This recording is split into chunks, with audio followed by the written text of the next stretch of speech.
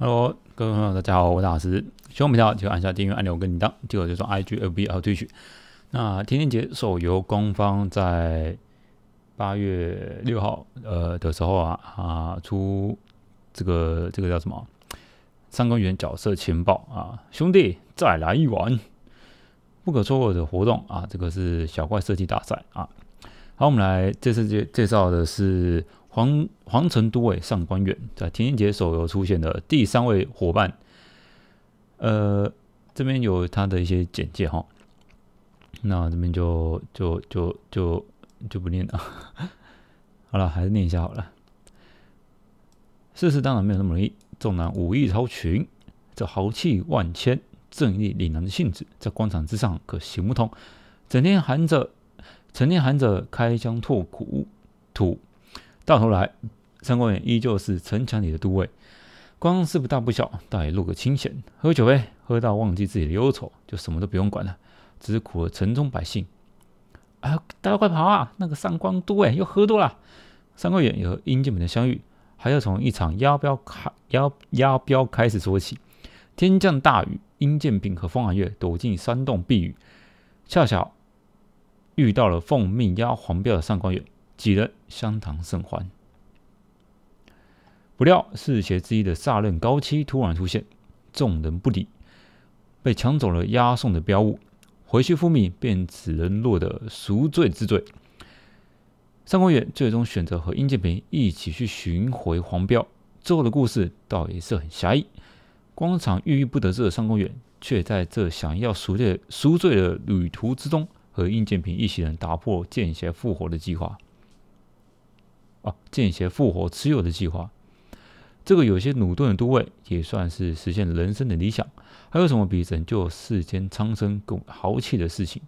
上官远离远行离去，并未引起城中百姓的万喜。不过是一个小小都尉的消失，人们议论几时就把他给忘了。只是真的有敌军进犯到城墙下，倒是有人开始念叨：这群废物啊！要是当年那个上官远还在的话。豪爽热血的枪兵角色在天地姐系列中自然是不可缺少，而这位能够独当一面的大哥型人物三光远也将在天地姐手游登场。哇，三光远这这蛮壮的，在手游我觉得手游的形象画风比较符合三光远在呃天地姐的角色描述，因为他毕竟是拿一个枪长枪的角色，肌肉线条壮是很理所当然的事情，那把长枪都不知道不知道多重了。豪迈的军官都尉装束，让人仿佛一眼就看出他的性格。轻便又有个性的冠冕，外加古式甲胄啊，古式甲胄，让上官远带着一股军官范的同时，也能自由地展现他的武艺。好，这边有一个地府的动图，我们看一下，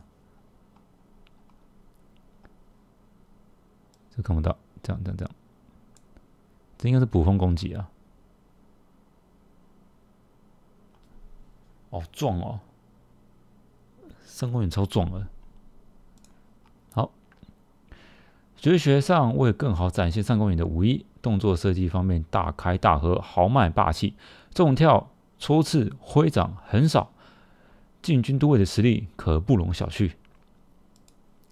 刚烈破，哦，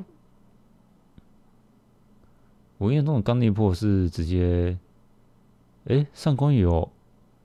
有络腮，络腮胡哎，好，再来。作为团队的前排坦克角色，上官远的武艺绝学，绝不仅能冲破敌人的防线，对落单敌人的杀伤力亦是不俗。监院输出和保护能力的上官远在场，可谓团队的最佳保障。鬼煞焚日，这应该是新的。天天气节手游，呃，不，天气节单机里面并没有这一招。天劫就有三招了：刚裂破、天降崩裂啊，第一个什么旋风枪？哎，这三个还没有旋风枪哦。旋风枪很经典呢。为什么觉得刚裂破比较像旋风枪啊？有没有跳起来戳？这不是刚裂破吧？这是旋风枪吧？你不要乱讲！哎哎哎哎哎，公放，你们是不是放错了？这是旋风枪吧？刚烈破是。往下挥，然后放出一个烈那个火焰波吧。天哪，完全不一样的。好，那这集到这边结束啊，就是上官远天地界手游的一些情报。希望这个刚裂破不是真的，是旋风枪。哎，没有天降崩裂，蛮可惜的。